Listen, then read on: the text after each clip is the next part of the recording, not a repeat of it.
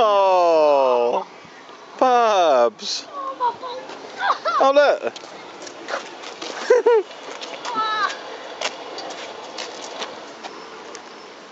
Those. Don't, don't nose. English tea bags.